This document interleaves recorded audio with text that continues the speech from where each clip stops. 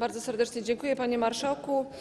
E, Dzisiaj dodałam w, swoich, w swoim portalu społecznościowym film, na którym młody chłopak z polską flagą, stojąc absolutnie bez żadnej przemocy, w zasadzie w bezruchu, e, został nagle powalony brutalnie na ziemię przez polską policję.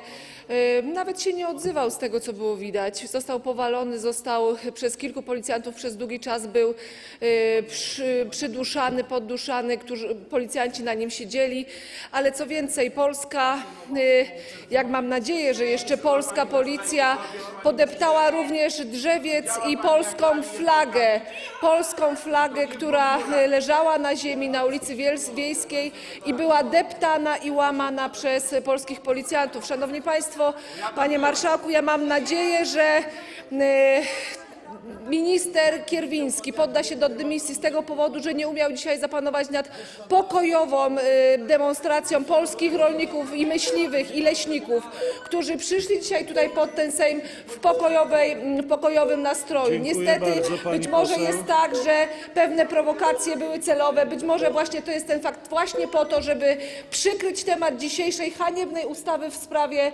Trybunału Konstytucyjnego, która tutaj właśnie się odbywa. Dziękuję bardzo. Dziękuję bardzo. Szanowni Państwo, chęć zabrania głosu.